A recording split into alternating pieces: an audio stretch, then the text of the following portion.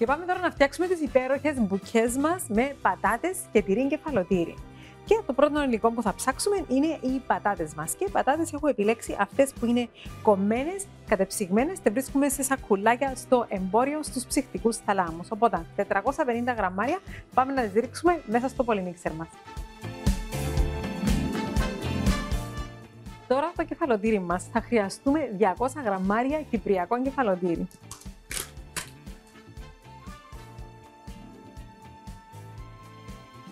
Τα 200 γραμμάρια μας θέλουμε να τα κόψουμε σε κομματάκια.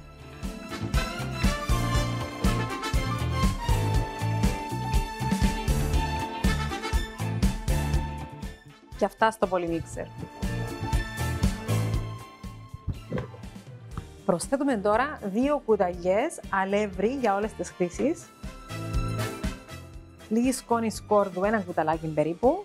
Λίγη σκόνη κρεμμύδι λίγο φρέσκο λιωμένο σκόρδο, αν θέλετε. Προαιρετικά είναι αυτά, γιατί έχει που δεν τους αρέσει ο σκόρδος, απλά αφήστε πίσω το garlic powder και τον σκόρδο.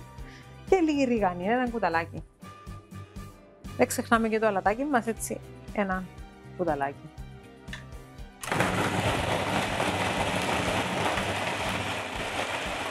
Μεταφέρουμε τώρα το μείγμα μας σε έναν μπολ.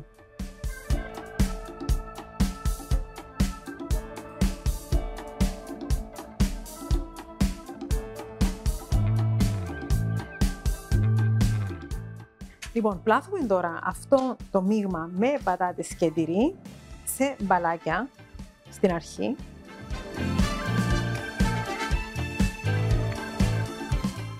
Και μετά σε μικρούς κύλινδρους.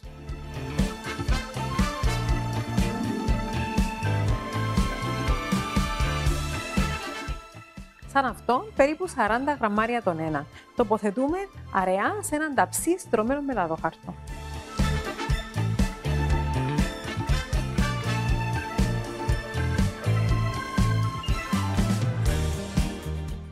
Λοιπόν, τώρα που έχουμε πλάσει τις κροκετούλες μας, πάμε να τις περιχύσουμε με λίγο λάδι.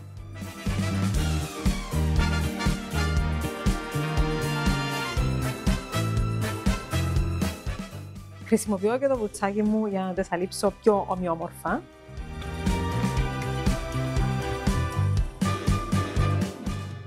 Βάζουμε στο φούρνο μας που είναι προθερμασμένο στους 200 βαθμούς στον αέρα.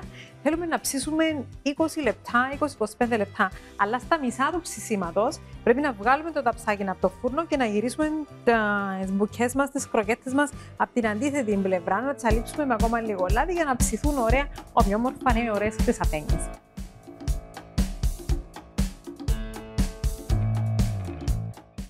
Οι μπουκές μας είναι έτοιμες και η κουζίνα μυρίζει τέλεια. Για όσους αγαπούν το τυρί και φαλοτήρι, αυτό είναι ο τέλειος μεζές.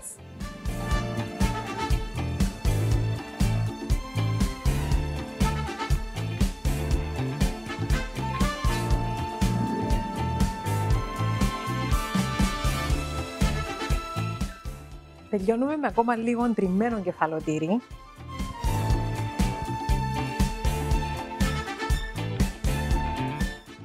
Και συνοδεύουμε με λίγο χαρουμπόμελον για να δώσουμε αυτή την ωραία γλυκόξινη γεύση.